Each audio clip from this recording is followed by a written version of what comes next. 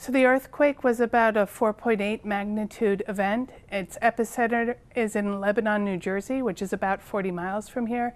And the reason people are feeling it is because it's just about three miles beneath the surface, which makes it a relatively shallow earthquake.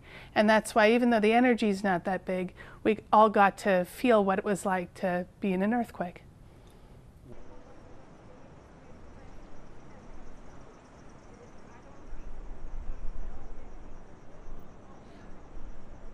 So the epicenter being closer to the surface means there's more up and down in the earthquake, and that's why more people perceived it and it bothered buildings less.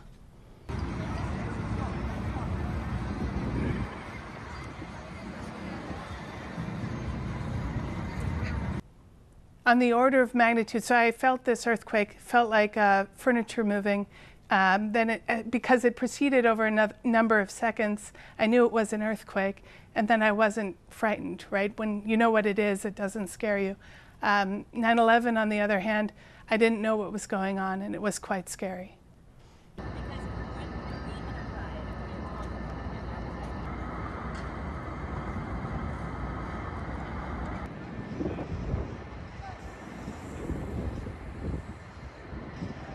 Yeah, the New York Building Code included earthquake provisions in the 90s, and it makes buildings more flexible, um, but it isn't the main force they have to withstand.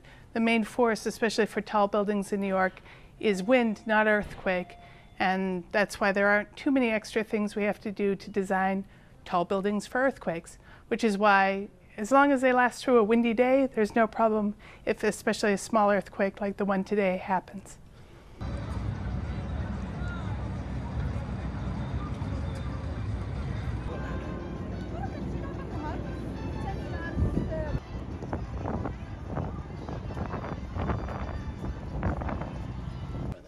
The One World Observatory uh, is a tall and flexible building. It's designed per the modern code, so it has a lot of ductility built into it.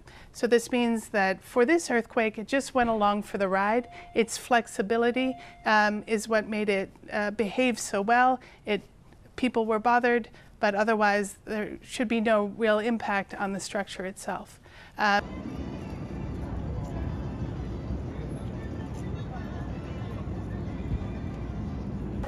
the, the buildings that I would say are more risk, um, uh, are more at risk, are going to be the older buildings that are um, that have unreinforced masonry. Um, those are known to be really um, uh, at high risk. Uh,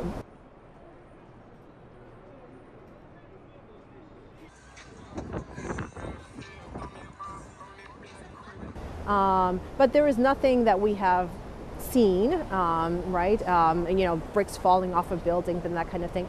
But there could have been uh, maybe some minor um, kind of damage from uh, ceiling supports and things of that nature that we just don't know about. Um,